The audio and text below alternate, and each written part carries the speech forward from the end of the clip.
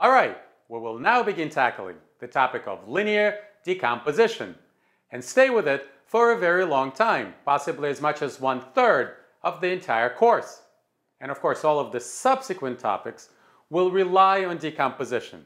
So decomposition is the linear algebra equivalent of dribbling in basketball. It may not be the ultimate goal, but that's what you end up doing most of the time. Now, why is that so? Why is decomposition so ubiquitous in linear algebra? Well, broadly speaking, there are two reasons for that. First of all, and this will be the lesser of the two reasons, a lot of applied questions naturally arise in the form of decomposition problems. Now you have already seen several examples of that, and in just a little bit, we will learn that any linear system is nothing but a decomposition problem.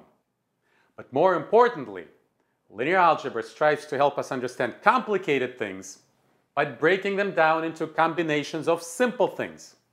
So whenever you encounter a complicated object, you must first decompose it into a sum of simple objects. And that step right there is linear decomposition. Now I have previously described linear decomposition as opposite of evaluating linear combinations. Now in order for that statement to actually be true, it needs to be a little bit less ambitious and a little bit more precise. So in order to help me clarify the precise way in which decomposition is opposite of linear combinations, I would like for you to watch the following riveting clip. Plus, it's a really interesting one. Yes, take a look at the color and then you're going to nose it. Tell me about the fruit aromas first. Very dense. Jammy red fruit. Fantastic. Okay, make a notation on your on your grid. Got it. Next, tell me about, do you have any uh, minerality? Is it earthy? Is it mushroomy? Uh, is there brush? Got or a little earthiness to it. Is it the dominant aroma in the wine? Or is it a secondary, a tertiary aroma? It actually kind of fights for the control. The earthiness of Yeah. this wine? Okay. And tell me about the oak. Do Mm. you smell any baking spices? Any vanilla? Any? Got a vanilla. Okay, fantastic. Go ahead and put that down on your notes. I think this is going to be key in trying to identify this wine. Okay. All right, let me now explain the point that I was trying to make with that video. Here it is. When performing decomposition, and that's exactly what the people in the video were doing with respect to wine, they were decomposing the complex taste of wine into the individual, simple flavors and scents. So when performing decomposition, you must actually know exactly what to look for. I'm sure you noticed that the guy had absolutely no idea what to say until either the expert prompted him or he looked at his sheet. And then he was able to say whether there was more or less earthiness and exactly how much of jammy red fruit he was able to smell. So in my mind, that describes decomposition pretty well. Decomposition is not so much an act of determining what's in there without any a priori knowledge. Rather, it's determining how much of each ingredient that you know beforehand is in there. And that's a lot less ambitious than doing a complete deconstruction from scratch without knowing at all what to expect. So you must know exactly what you're looking for.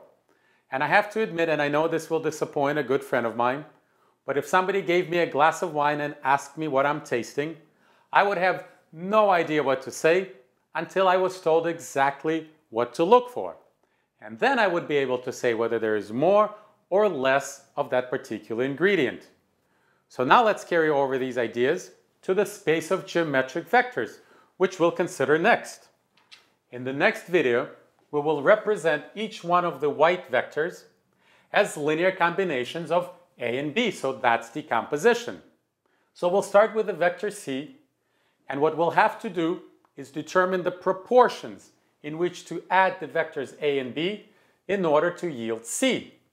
So the main point that I would like to say is to make is that if I didn't give you the vectors A and B, the question would be completely nonsensical. If you don't know with respect to what you're supposed to perform the decomposition, you're dead in the water. Now, as it stands, the problem of decomposition is determining the co-coefficients of the linear combination. So schematically, it can be written like this. We're given the vector c, and we have to determine the unknown coefficients of the linear combination of a and b. That will yield c. So this is the precise sense in which decomposition is opposite of evaluating linear combinations. When we evaluate linear combinations, we're given the vectors and the coefficients of the linear combination, and all we have to do is evaluate it. When performing decomposition, we're given the result of the linear combination and actually the vectors themselves of the linear combination. And our task is to determine the coefficients. That's what linear decomposition is, and that's the precise sense in which it's opposite of evaluating linear combinations.